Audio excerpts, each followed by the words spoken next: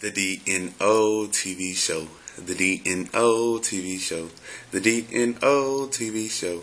The DNO TV show. Hello, everyone, and welcome to the DNO TV show, the Dominic News Outlook.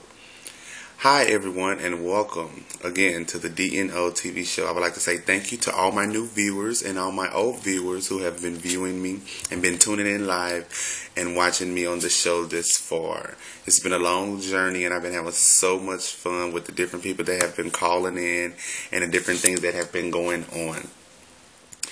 Today is Monday, 2000, and today is Monday. Um, April 15, 2013, day 26 of the DNO TV show. Our word of the day for today is I just want to praise you. Words of encouragement for today How great is our God? Our temperature right now, it feels about, it's a, um, low in the 60s on today, and we will begin high in the high 60s and also low in the mid 50s on later on tonight. Our news for today Kevin Hart was arrested for a DUI. He's so crazy. I'm surprised he didn't talk himself out of that DUI. I'd like to move right along to our church news. Our House of Prayer All Nations. They had a service on yesterday. It was a great service. Elder John E. Strain preached a wonderful service. Um, wonderful sermonette or whatever that you want to call it. He preached. And usually when he preached, he preaches. I mean, he does it all. Um, also, the House of Prayer All Nation has their daycare open and they're still looking for students that would like to enroll. And all their Sunday school has been getting back um, active. Um, more students are starting to come to the Sunday school and also stay for the service. Um, our House of Prayer will also be having their Sounds of Pentecost that will be coming up very soon. It's about, I think, 29 uh, days away.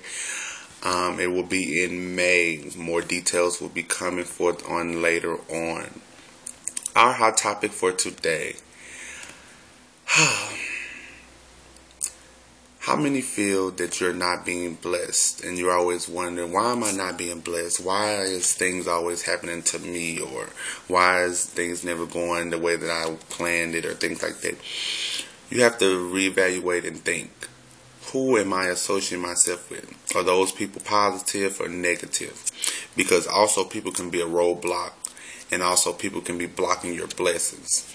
Sometimes you get your blessings from the people that you surround yourself with. So if you surround yourself with negative people and people that's not doing anything with their life, you you will find yourself having your block your uh, blessings being blocked, and then you wondering why.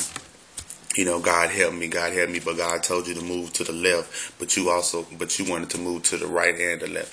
You know, you can't have it both ways. So, that's our hot topic for today. Please leave a comment on our hot topic. If you would like to be on the DNO TV show, please contact me at my email at domacon12 at gmail.com. Also, check me out on Facebook and YouTube. Facebook is DO dnotvshow.com slash Facebook. Look forward to seeing you guys on tomorrow on the DNO TV show. You guys have a great day and thanks for tuning in live.